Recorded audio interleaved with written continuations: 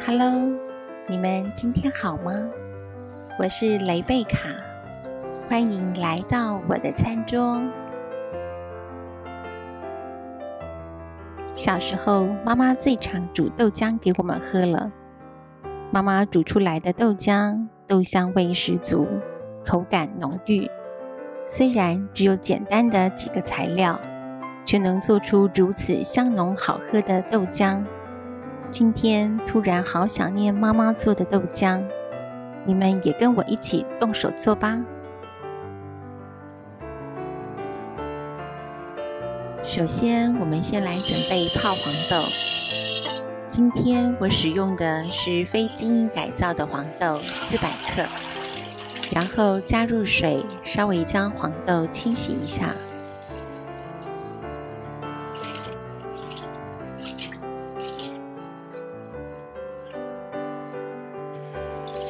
我们将水倒掉，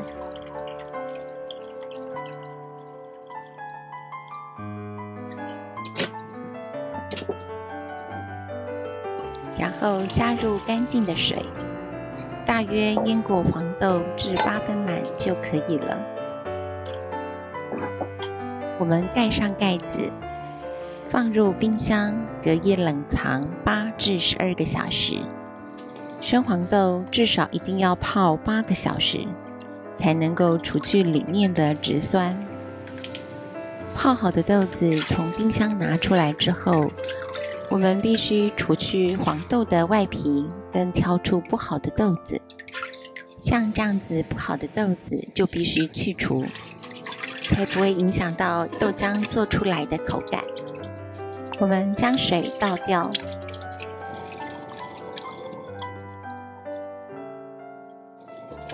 然后加入干净的水，重复清洗跟检查的动作。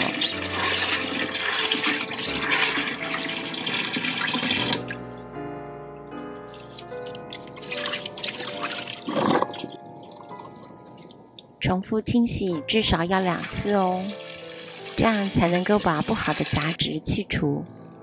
这是泡好的豆子跟原本黄豆的比较。准备要来打豆浆了。这次黄豆的量，我准备分两次来搅打。在调理机里放入二分之一泡好的黄豆，然后加入水九百克。这个调理机功率很强，所以我只打了二十秒。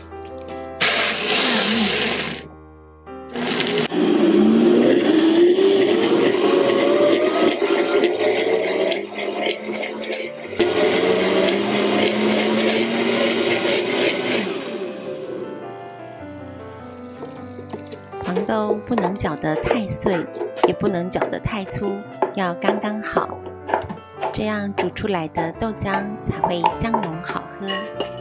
现在我们加入剩下的二分之一黄豆，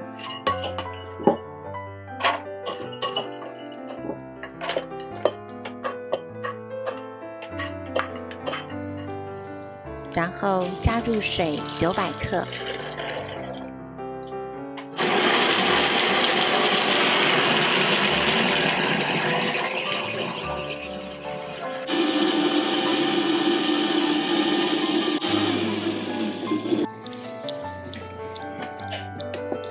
豆就是要打成这样子绵密的粗细状，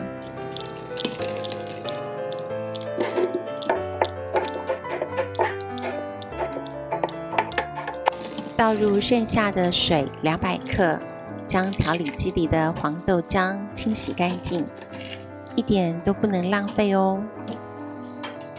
现在我们来煮豆浆了。一般煮豆浆会有两种方式，第一种方式。是将豆浆滤渣挤浆之后煮滚。第二种方式是调理机搅打完之后，直接开火加热，放凉之后再滤渣挤浆，再煮滚。我今天用的是第二种方式，将打好的豆子直接开火加热，煮至现在这样子微滚的状况。就可以关火了。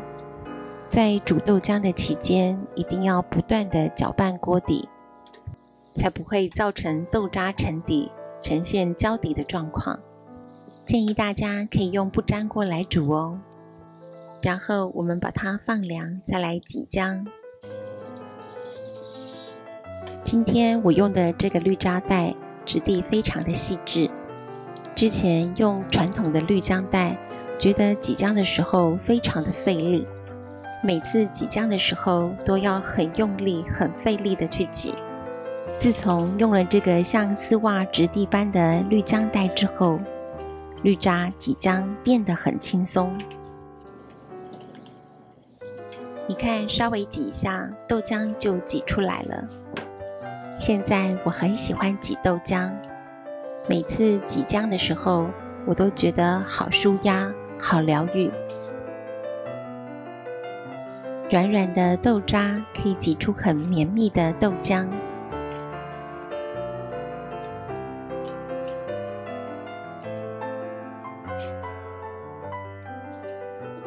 将挤好的豆浆倒入不粘锅里，不粘锅一定要选大一点、深一点，这样子会比较好操作。现在我们开火加热，在煮豆浆的期间，还是要不断的搅拌锅底，让豆浆能够受热均匀，不会粘锅。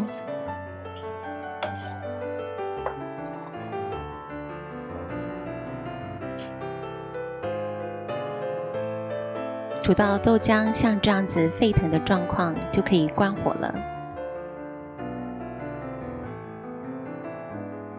在煮豆浆的期间会产生很多的小泡泡，我并没有把它捞出。建议大家可以在关火之后，稍微将豆浆沉淀一下。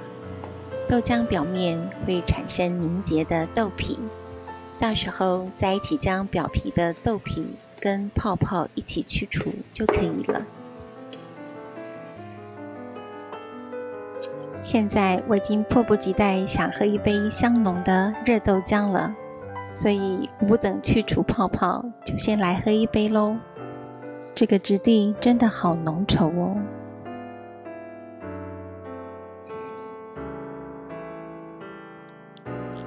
我喜欢的浓豆浆是先煮再滤渣，这样豆味才会更浓郁、更滑顺。豆浆冰过之后。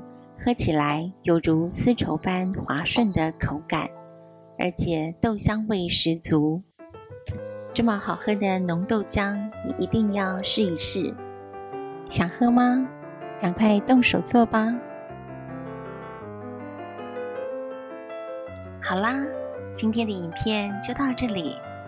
喜欢我的影片，不要忘记帮我订阅、按赞、加分享哦。那我们下次再见喽，拜拜。